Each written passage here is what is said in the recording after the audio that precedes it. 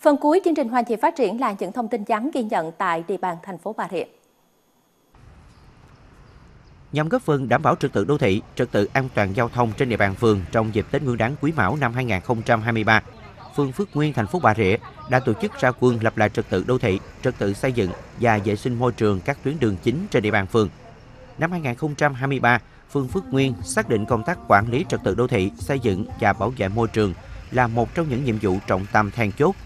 Do đó, địa phương sẽ tập trung phối hợp tuyên truyền vận động, thường xuyên kiểm tra, kiên quyết xử lý các trường hợp lấn chiếm vỉa hè, lòng đường, vi phạm trật tự xây dựng và các hành vi gây mất mỹ quan đô thị, ô nhiễm môi trường, góp phần xây dựng phường Phước Quyên ngày càng văn minh, xanh, sạch đẹp.